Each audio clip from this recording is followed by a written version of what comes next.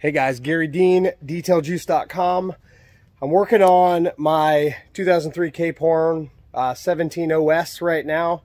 Um, a couple weeks ago, I was doing some testing with the brand new Infinity Marine, which is a clear coat and ceramic coating all in one. So it's pretty awesome. So there's a couple of different ways you can apply it. You can hand apply it with either an applicator or a roller, or you can spray it on, which is what I prefer. You get it way smoother when you spray it on, uh, and you use a lot less product. So what I'm testing right now is I over applied on purpose. I sprayed it on, I wiped it on, I did some tests, and then I got caught up and then I had to take the boat back where I store it to deal with it another day. Well, that other day is today. So what I did was I brought the boat home and my intention was to strip off all of the uh, Infinity Marine that was all over uh, the port side of the hull. I'm sorry, um, the starboard side of the hull because I had over over applied and did some tests and the product didn't lay down flat at all. I was just testing the gun and just spraying it on. Then, like I said, I ran out of time, so I couldn't do anything about it that day. So I was messing around with it just now. And if you look, you can see what I'm talking about. There's definitely waves in the coating. But what I did, and you can see, look how inconsistent and nasty it looks over here. It's very foggy and there's tons of orange peel. All right, so that'll happen when you over apply, but I used 80 grit, 320 grit, and then I followed that with a 1000 grit on the uh, DeWalt cordless machine there. And you can see how rough it is in here. And then look how flat it gets right there. And then you go a couple of feet past that and it gets back to the roughness. Now look, I was not trying to get every single section of uh, orange peel off. What I was trying to do is see what it took and see what the effort level was to flatten it out and make it look a lot better. And this section right here is much better, better clarity, everything. I mean, in this area right here, it looks awesome.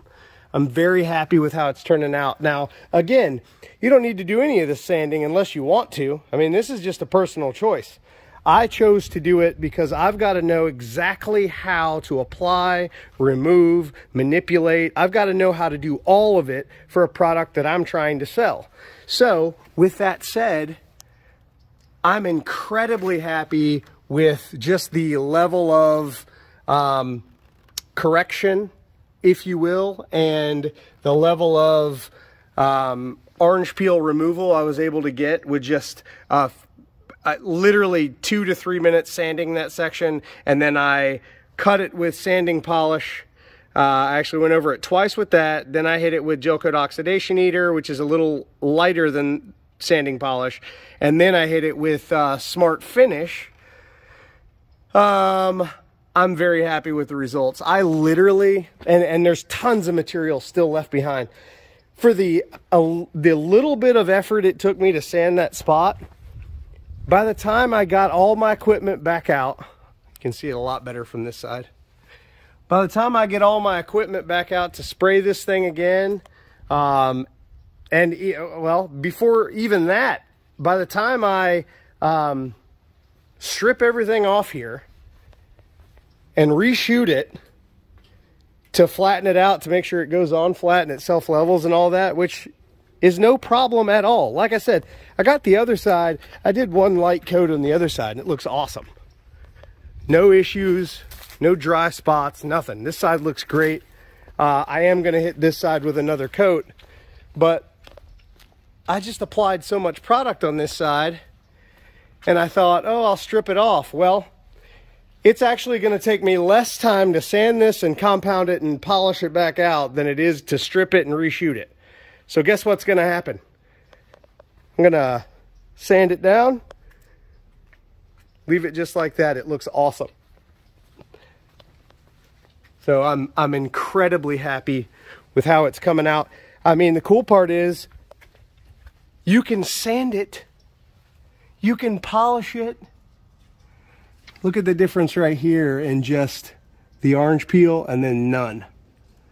I didn't get the edge right there. You know, again, it was just a test.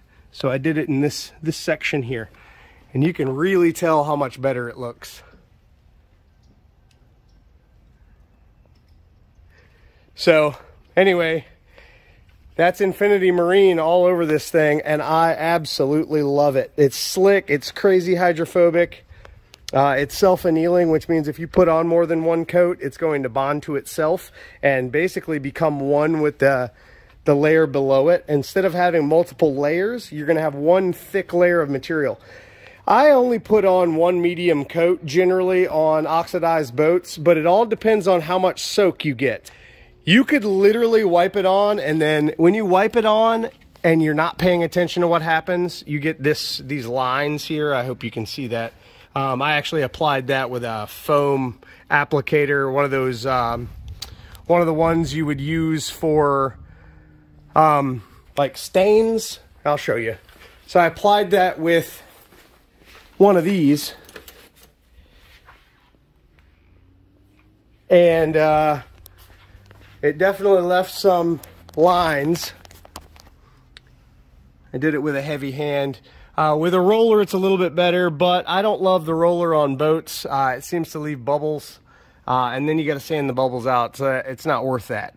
Uh, the absolute best way to use this stuff is to spray it on, and uh,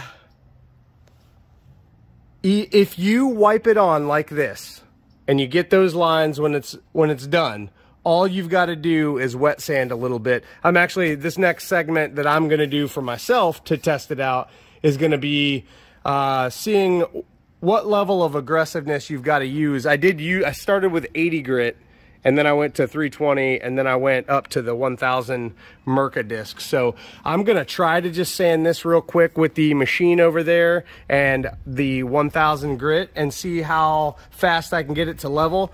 Because I can tell you, coming from 80 grit to 320, even 320 is crazy aggressive when it comes to a finish like this it was difficult to, to bring back some gloss uh, when I tried to polish over the 80 grit. It was almost impossible to get gloss out of it. 320 was better.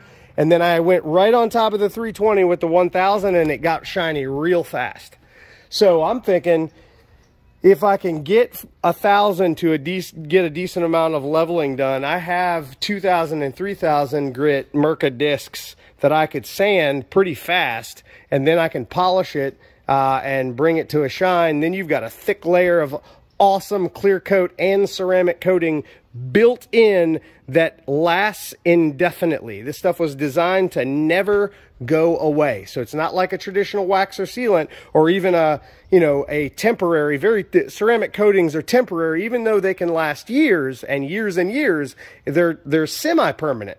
This stuff is made to set it and be done. So once you've got the finish like you want, you're going to have smiles for years and years and years, and it's going to be glossy and look nice. And really, the only thing that you need to do with this stuff, uh, as far as maintenance, is going to be using the maintenance shampoo, which is just a standard shampoo, nothing fancy, doesn't have any gimmicky bullshit inside. It's just an awesome, awesome soap that's highly lubris, uh, lubricating and it cleans well.